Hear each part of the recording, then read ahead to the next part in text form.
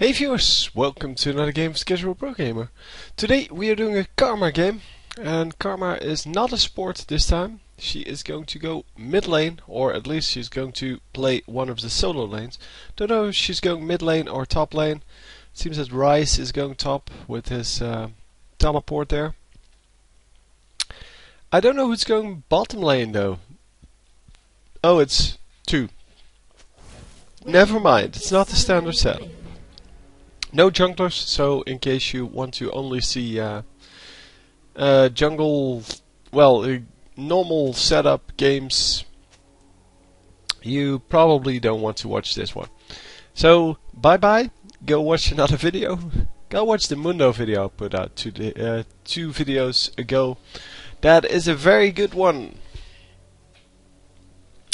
And if you haven't seen that yet, you should definitely see that. So anyhow, uh, we are top lane here with uh, with Jax. So no solo lane, but yeah, she can do pretty well in uh, just about any lane. Except for jungle, I guess. She's not a really good jungler. She doesn't really have anything to damage the minions. Uh, well,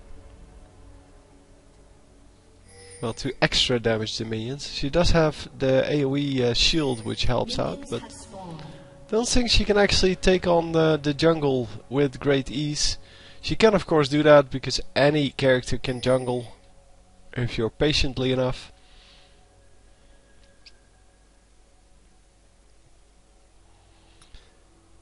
Um, yeah, well, nothing is going to happen here. Uh, the enemy team is over here, somewhere in this bush, because we saw them run in. And there we are.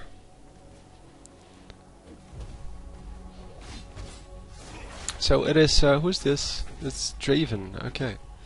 So Draven Taric over here. Yeah, and yeah, this this should be uh, interesting. Both of them have kind of a support champion and uh, an AD champion. The difference is, of course, the range. Jax is a melee champion and Draven is a ranged champion. So there's a big difference there. Akali starting off with her shield. Akali Karma starting off with her shield.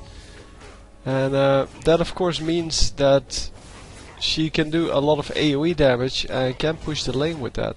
She can also protect them uh, pretty well. Well, herself and the Jax. And yeah, both of them starting off with some regen. Uh, put some potions, which is by far the best opening for Jax. And um, yeah, regrowth pendant and mana potion for our karma here.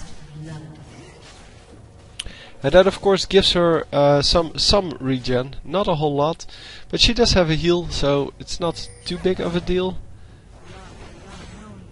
Oh, Jax, Jax, Jax! I think Jax is gone. I think Jax is AFK because he hasn't moved in quite a while. And yeah, the enemy uh, profiting from that because, well, what else are they, are they going to do? I mean, they're not going to wait around until he finally reconnects or until he gets killed by the minions. I can totally see that. I mean, it wasn't that obvious if he disconnected, because he was attacking stuff, but yeah, that's why I thought he was uh, disconnected. So missing a couple of minions there.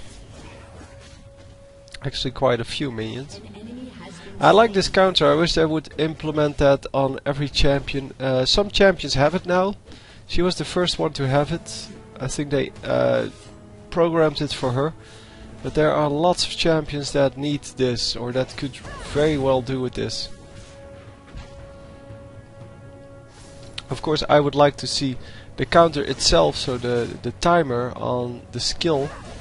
But yeah, that's not going to happen apparently or the timer on here, that would be good as well. But at least you can see how far along you are, how far you have to wait. And yeah, the same would be true for the Heimerdinger turrets, and I think the Teemo mushrooms already have it nowadays. But that was well after Karma was released, so definitely not something that they are going to implement uh, on all champions yet. So lots of damage going off on both the enemy champions. No real focus here, and that is kind of their problem. Uh, the enemy team is really focusing Jax. So yeah, we saw Ryze coming in, and Ryze actually gets the kill there. Oh, doesn't follow up with that last little bit of damage. But Karma is going to attempt to do so. No, Ryze, why did you run out? Yeah, they should just run through the turret. Ryze can definitely take a few turret shots.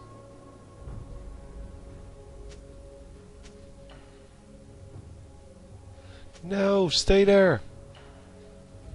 I don't know where he is. I think he uh, he went into this bush or something like that. I don't know. but he definitely is out now. They should have, yeah, they should have just gone for that. But anyhow, um, going mid now because Ryze is uh, is in top lane, and once again missing a minion just because she doesn't attack there. So yeah, not the most exciting of games here because we have no jungler. So that makes the gameplay already a whole lot duller in the early game. Of course in the late game we can still see a lot of uh, nice plays. But we are going to fast forward a little bit because this is just the laning phase. So she's going a little bit aggressive here on Miss Fortune, but Miss Fortune doesn't really care apparently. She's not really too worried. I will try to catch the the fight scenes a little bit in normal mode, in normal speed. But yeah, as you can see, it's just farming and farming and farming and farming, and that is just not the most interesting gameplay to see.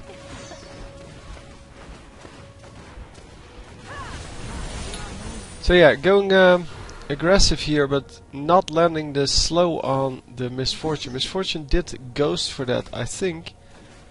Does she have Ghost? Because I heard Ghost, yeah. She has Ghost and Exhaust. Miss Fortune with Ghost, that is really uh, unnecessary. You would like to have Flash on her, because she already has a Ghost in her innate ability, or movement speed buff I should call it. Of course it's not a Ghost because it doesn't allow you to run through minions, plus it uh, uh, goes down when you get hit.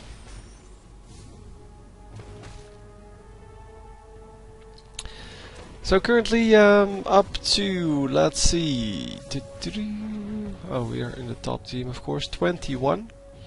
And Miss Fortune here is at 40, so Miss Fortune doubled the minions, but that's of course because she was in the top lane for a little bit there. And Miss Fortune getting damaged quite heavily there. But she's still going to stay in. That is very unwise. She hasn't used her health potion yet. And is not currently using one, so...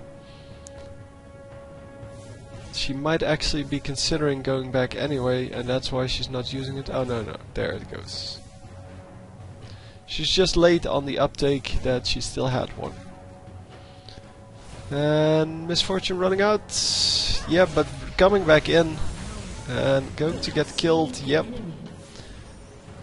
She ran out, she was safe, and uh, she comes back in, reali not realizing apparently that uh, Karma does a lot of burst damage.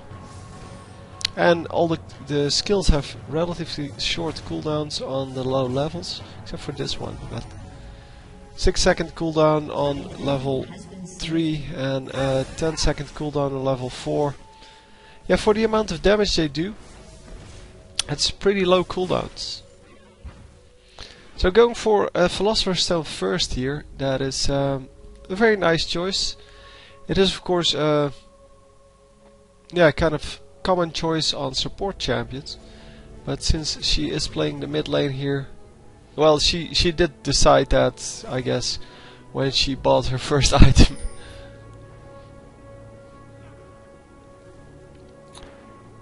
They're really way too scared here. With the shield on, the shield can take one third shot, the heal can take one third shot, so they can easily tower dive there. The problem is can they do the damage that is required. But yeah, they shouldn't really try. They should just back off. The turret in mid gets destroyed because Miss Fortune is free to farm whatever she likes. And she's currently at 49 with Karma at 28. There's a big difference there, of course. But, oh, Karma, dude, do some damage. Miss Fortune does not have a flash, so... And Rammus coming in, going to land a taunt, and bye-bye. Miss Fortune dies. So yeah, back off already. It seems that Jax still wants to go. And Ryze decides to go for this one. So everyone goes for that one. That's the way it's supposed to be. You're supposed to go for the uh, the champion that um, that is closest, or no, that got snared in this case. Not so much that's closest, but if uh, someone gets uh, how low is she? Ah, 100, over 100. Um, if someone snares or stuns or well taunts one of the enemy champions, that's the one you go for, no matter who it is. I mean that's just the general rule. Every if everyone sticks to that, then of course you will have the best kind of uh, fight. So yeah, it doesn't really say the um, the amount of ability power you get from this. That's kind of yeah. Every everyone says uh, with everyone's abilities it says how much you're actually getting from that and with this one it doesn't say that probably because it's a, a dynamic one so if you get damage more you get more AP and come on Ryze no not going to make it out she could have healed as well she could also have used one of the mantras with the soul shield that way it would have done damage to the enemies but hey, it's all good. Come on, get that blue buff already. No? We're going after the enemies?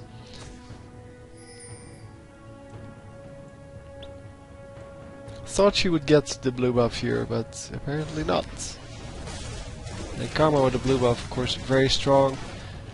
Jax getting stunned there inside of the Miss Fortune ultimate.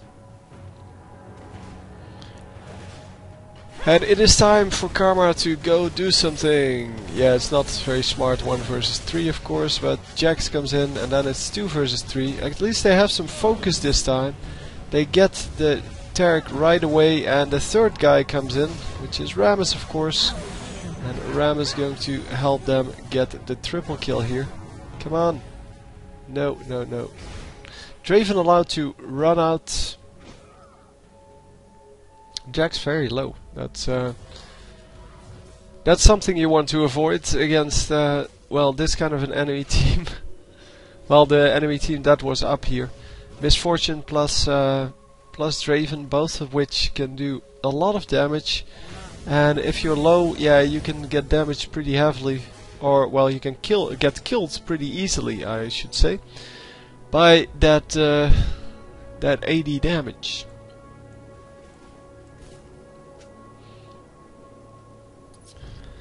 So yeah, Karma uh, finally going for the blue buff here. And yeah, it's um, it's really a long fight this because uh, there's not a whole lot she can do against this blue buff. She should just keep shielding herself.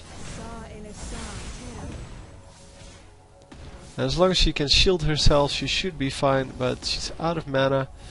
And, well, the cooldown is up, so that's not the problem. But it is a pretty uh, expensive spell. She does get the blue buff now, and that means that they're going to... Or she's going to have the mana regen she needs to spam all of her spells a little bit more. What are we going for? No, get the Miss Fortune dudes. So, Ryze messing up there should of course get the Miss Fortune.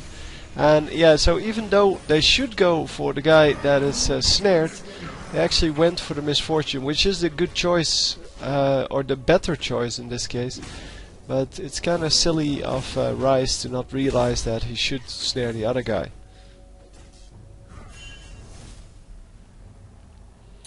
Yeah, nobody's going to come in, so they might as well just stay there and get all the minions. And bye bye Taric.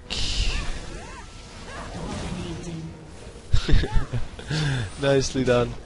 So, for some reason, Janna running all the way through three enemies, even though there's not a whole lot she can do. She can't really, uh, well, take down the uh, the minions very well. So I don't know why she would run through all of those enemies. She got lucky that she didn't get stunned, but yeah. It's all good, it's all good. We're going to fast forward a little bit again because, well, this is just farming and farming and farming and farming. An ally has been slain. Oh wow, she got the kill on Ryze. That is just... Oh, yeah, well, she's not the only one there anymore. That explains. I don't know why there are three guys top all the time. But it is kind of strange, to be honest. So random Miss Fortune ultimate.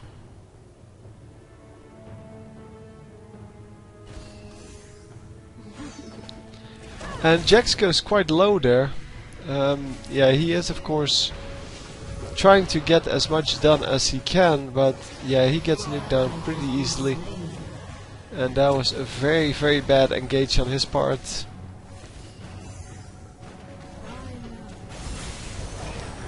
And his Karma is doing a hell of a ton of damage.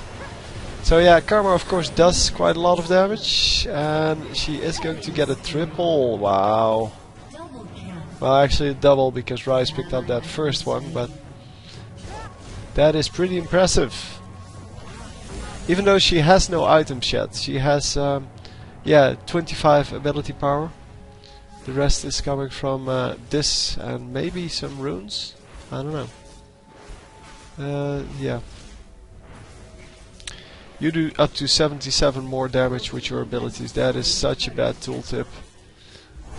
That's not what ability power means at all. It's what it should mean, but it's not what it means.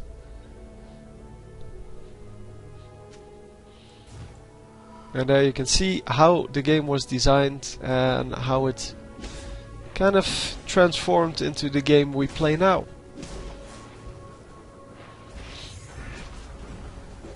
But yeah, ability power nowadays means a lot more than just the uh, the amount of uh, damage you can do with your abilities. Because obviously your heal, for example, also scales with ability power. So it has nothing to do with damage. And the shield also goes, so the abs uh, absorb part also scales with ability power. So it has nothing to do with damage again. And you can see how that uh, changed over time, or kind of from the design stage into now.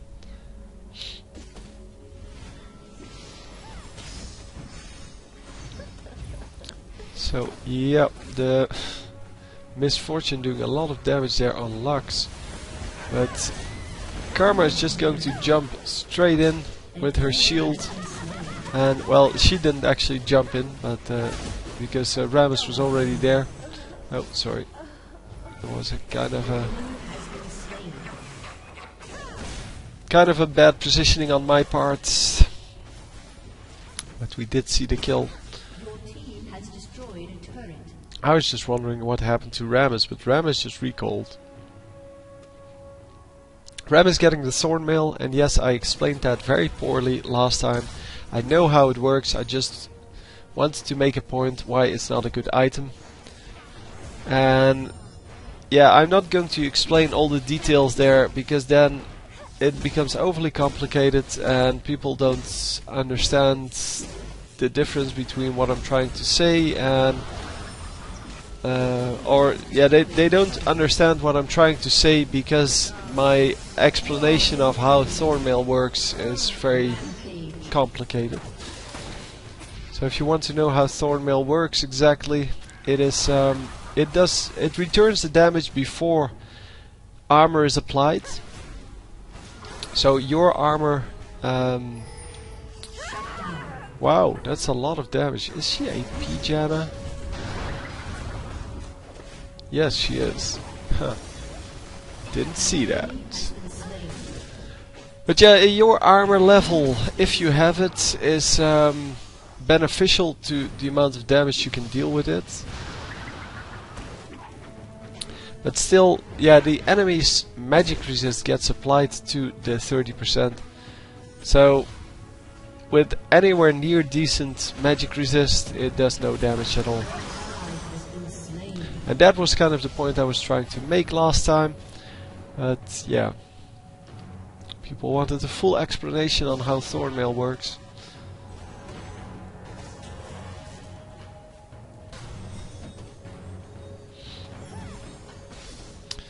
So yeah, lots of um, harass going off between the two uh, teams because they keep being in the same lane, well, like three champions at a time.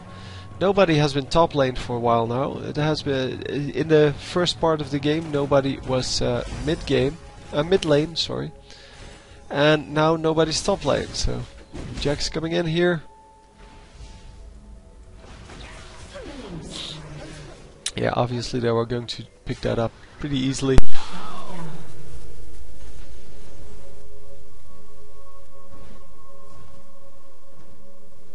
Sorry about that.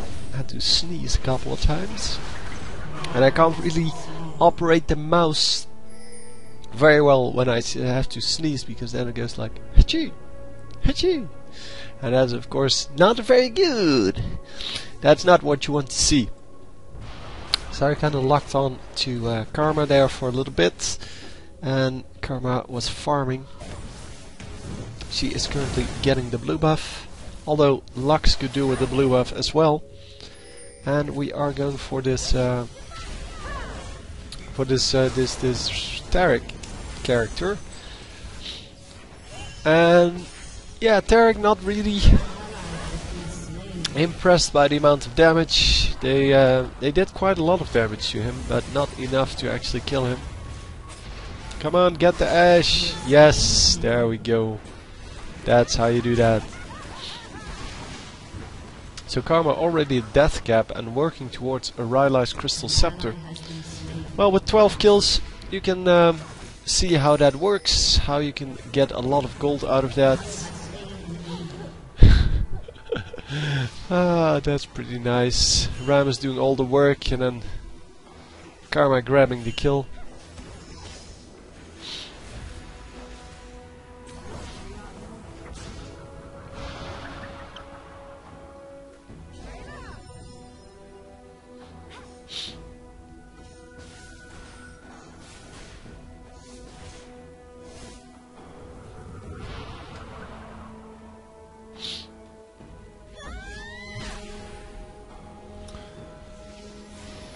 So yeah, here we go, come on, let's engage guys, let's engage, let's group up. No, Karma, that's not how you engage. You wait for the rest of the team. But they're going to get a triple kill out of this. No, only a double. Uh, she's still not gone, so she might still die. But it seems that um, yeah, they were going to trade a one for one over here, and then...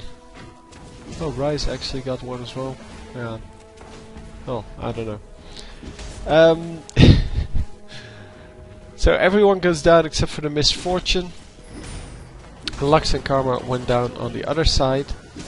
And come on. Yes, there we go. Finally, we're getting something somewhere. And yes, Karma is building up a lot of AP here, 320 AP with her uh, Crystal Scepter. And this one now goes up to 130 ability power. That is pretty impressive. Uh, you can get a lot of extra damage done with that, as well as a lot of heal, of course.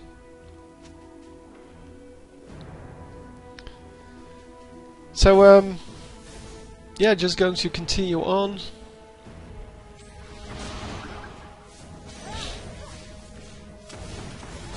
Um, and wow. Lux almost hitting everyone, but only hitting one guy in the end. And oh, Karma in some trouble. Yep, Karma in a lot of trouble. And actually getting killed. So here you see the snare goes off into the taunt, and that's how you kill people. It it may be the most tanky character on this enemy team, but it's the only one that got snared, and therefore you go for for that one. It's not a yeah very hard approach, of course. Everyone can understand how that works, and you definitely want to go on the tank sometimes. I know that. Um, especially in the low level games everyone always says don't attack the tank don't focus the tank now you focus whoever you can if they're near or if they get snared, then they're the target of choice. That's just the way it is. You go if you go four or five versus one on a tanky character, it still does a lot of damage. You can still get the kill. The problem is that most people will do that in in a team fight. So if they have uh, the ability to choose any character on uh, on the field, and they will still go for the tanky character because they're the nearest. But if you can reach someone else, then you should definitely do that. Obviously, it all has to do with uh, well your uh, summoner skills, for example, and uh, well your ability to get into the the enemy team.